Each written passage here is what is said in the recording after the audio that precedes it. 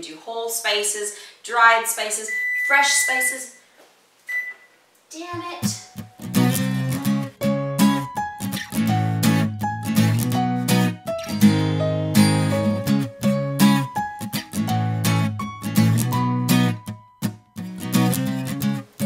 Hi guys and welcome back to my kitchen. Today we are doing our second ferment for our homemade kombucha. And now if you missed the first part of this video series, um, then you're definitely gonna wanna go check that out. I will link to it below this video. But in that first video, I show you how to actually get started brewing kombucha at home. So definitely check that out first if you have not done that yet. And then this part is all about doing the second ferment. So the second ferment is where things get really fun when it comes to homemade kombucha because this is the point where we start actually flavoring our kombucha. We're going to pretty much be able to fill up all these bottles here, which would probably be somewhere around 50 or $60 worth, for literally pennies. The couple scoops of tea and a little bit of sugar that we use to make our batches and that's it. So super, super cost efficient and you can really custom tailor the flavorings to fit your taste completely and do anything you want with them. And you can flavor your kombucha with everything from herbs and herbal teas and herbal tea blends to whole spices, dried spices, fresh spices, and fruits, all sorts of fruits. So you can do fresh fruits, um, frozen fruits, and we're gonna be using some frozen fruits to flavor some of our kombucha today. Juices, applesauce, canned fruit, and then of course you can combine whatever flavors you like. I've got a link to a printable kombucha guide that you can get from my resource library under the kitchen and pantry resources section of my resource library. I walk you through the whole kombucha process in that and it's got a bunch of different flavoring combinations that I really like. Um, so if you're not sure how to flavor your kombucha, then make sure to check that out as well. I'll leave a link to that download below the video. But for today, we're going to be taking the batches that we made last week. I've got all these teas out because these are some of my favorite teas for flavoring my kombucha. And then I also have a little bit of fruit that we're gonna blend up and do some of that as well.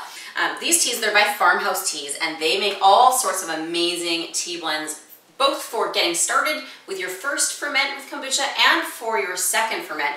But when you get to the second ferment and it's actually time to flavor it, you don't need to worry about that. That's why your options are kind of limitless. And at that point, we can use all sorts of herbal tea blends and different herbs and things like that to flavor. So I've got a few of my favorites by Farmhouse Teas um, that are actually made specifically for flavoring kombucha. And we're gonna be using some of these today as well as our fruit that I'm gonna blend up. Last week, we put our original SCOBY in. I don't know if you, oh yeah, you can kind of see it there. It's down at the bottom. So that is the SCOBY that we put in to get this batch started last week.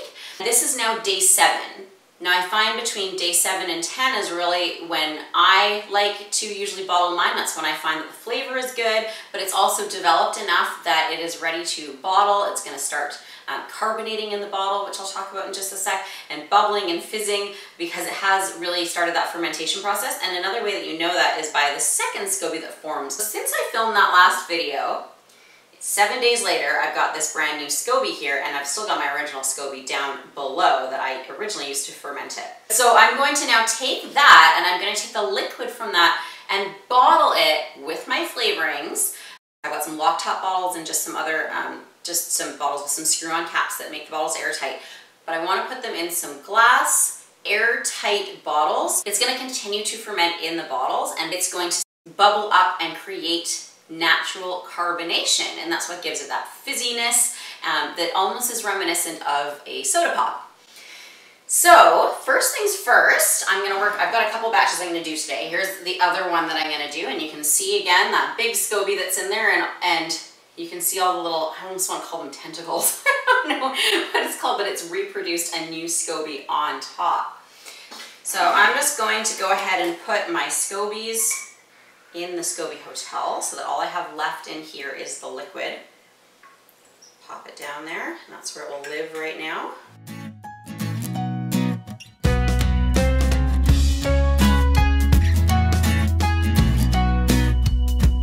Now I always reserve a little bit of the liquid and put it back into the SCOBY Hotel just so that there's um, so that I'm replenishing it. I'm giving those scobies something to feed off of and live in. They need to be in that liquid.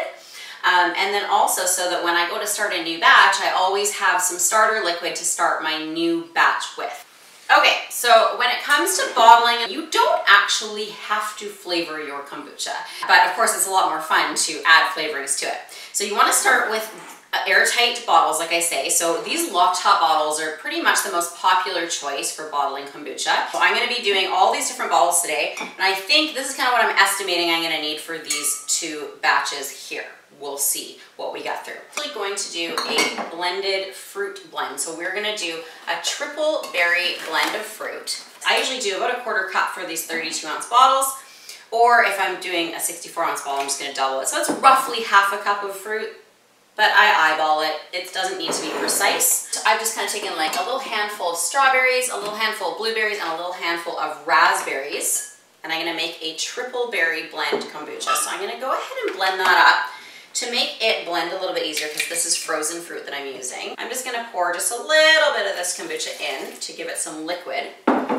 Then just blend it up.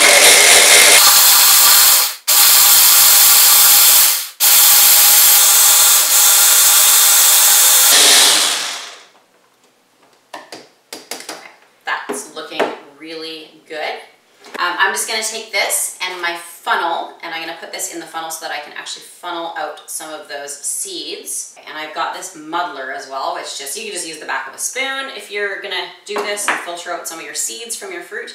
Um, but it just helps me to push down and get that pulp through or the juices through without getting the seeds and all that pulp.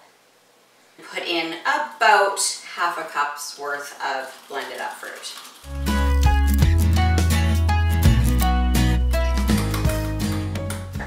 I'm gonna just go ahead and fill the bottle with my kombucha.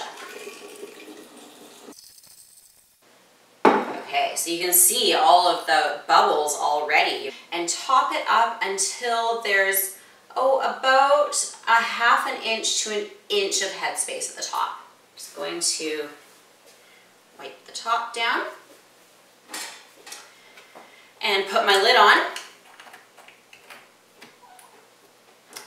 And that's it. That bottle, and you can see that beautiful uh, color from the berries, but that is ready to do its second ferment. So I make sure that the cap is tight on here, and then I'm just going to put this to the side, just like I did with my kombucha when I was doing the first ferment. I'm going to leave it on my counter, and I usually leave mine for around three days I find is a good amount of time and what happens is while you're leaving it at room temperature it's continuing to ferment it's building up carbonation and it's really taking on the flavor of whatever you've added in there to flavor it.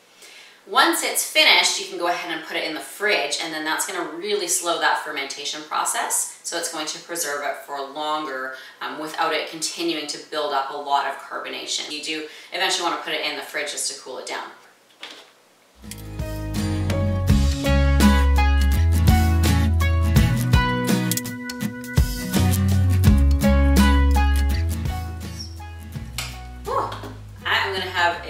Messy counter.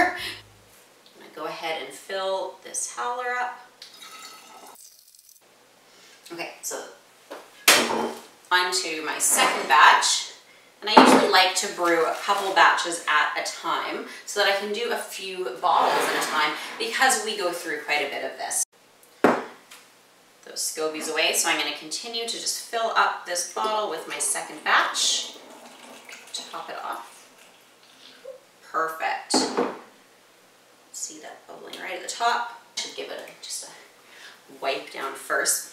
And just, you know, just for your bottles, because I know this always comes up when I make kombucha, somebody always asks, do you need to sterilize the bottles?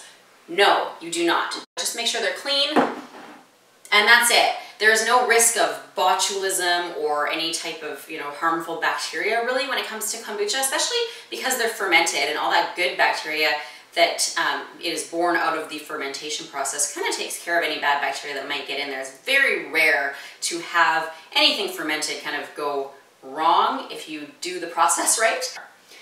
Okay, I'm gonna just go ahead and do my last little growler here and finish up this really messy berry pulp juice thing got going on. Okay. so I'm just gonna give that a little wipe. Try to keep the liquid off from around the top of the bottle because it can kind of start to corrode the, the cap otherwise. Now for these bottles here, um, I'm going to flavor this batch here. I'm not sure if I'll get all three bottles, but I'm gonna flavor these with some of my herbal tea blends. So there are so many fantastic flavors from the Farmhouse Teas. They make some, oh, like this turmeric ginger peach, that's one of my favorites. This one, this is called Rose Berry, and it's got organic hibiscus, elderberries, aronia berries, and rose petals. Um, there's rosemary citrus, and then today we're going to be flavoring, I'm gonna do one, I'm gonna try this apple pie filling one, because I have not actually tried this flavoring yet, and that sounds divine. So I'm gonna do that, and I'm gonna do the strawberry mojito is another one of, it's my daughter's favorite. So I'm gonna make one of each, and then if I have enough to do a third bottle, then we'll do another flavoring.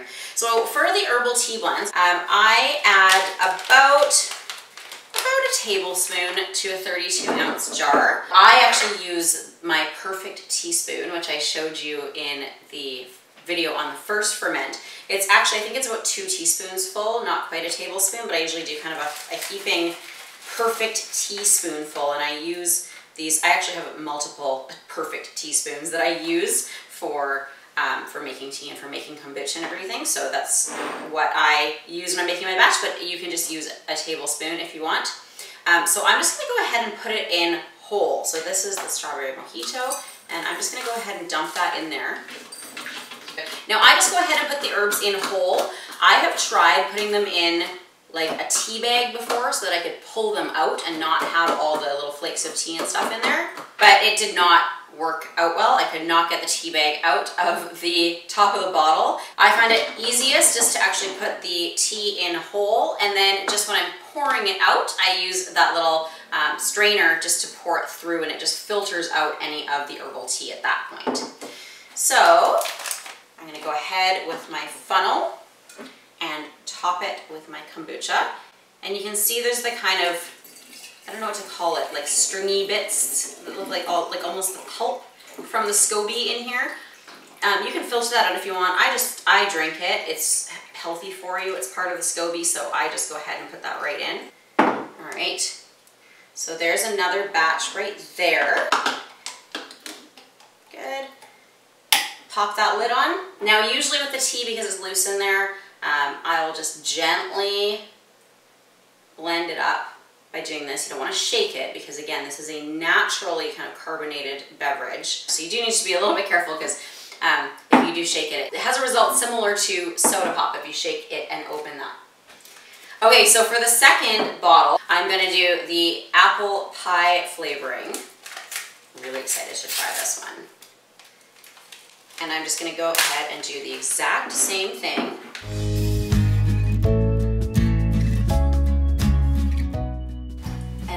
Gonna top it up with my kombucha. I'm hoping I have enough for this bottle, but I might not have quite enough to make it all the way to the top. We'll see.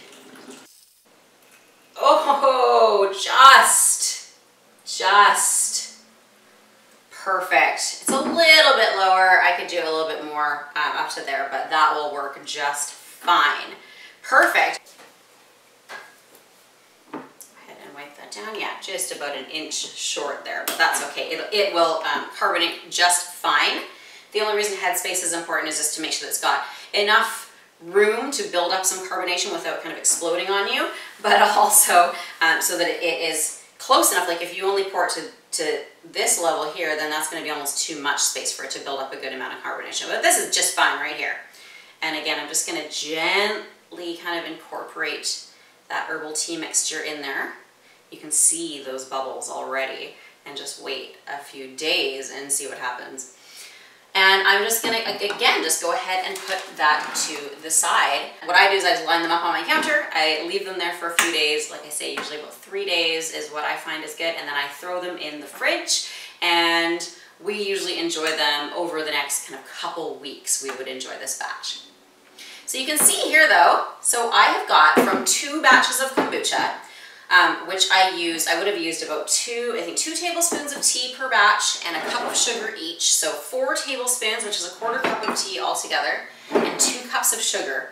I mean, literally, it's it's got to be under a dollar when you price that out. And I got all of this kombucha, plus I've got scobies that have multiplied and given me even more scobies to continue doing future batches as well.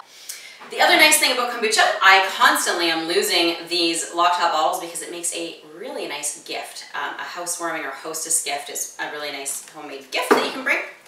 There's just so many reasons that I think you should be brewing your own kombucha at home, especially if you buy it from a store, you are going to save so much money. This altogether would probably cost, like I say, around 50 to $60 worth were I to buy it from the store and I've made it for essentially under a dollar or two. So like I said, I actually have a printable kombucha guide um, that you can download from the kitchen and pantry resources section of my free resource library. And it also has a bunch of different flavoring combos and options in there for you and I walk you through the process of how to get started brewing kombucha at home, where to get all of your supplies from, and then again I have actually uh, done a full video where I show you how to do the first ferment and get started brewing kombucha. So I will link both of those things below. And I will also link to uh, Farmhouse Teas if you want to check them out. Like I say, you can get tea to get started with your first ferment and a whole bunch of really delicious herbal teas to flavor your second batch as well. So I will link to all those things below. And if you like this video, then make sure to hit like and subscribe below so that you never miss an update from the House and Homestead.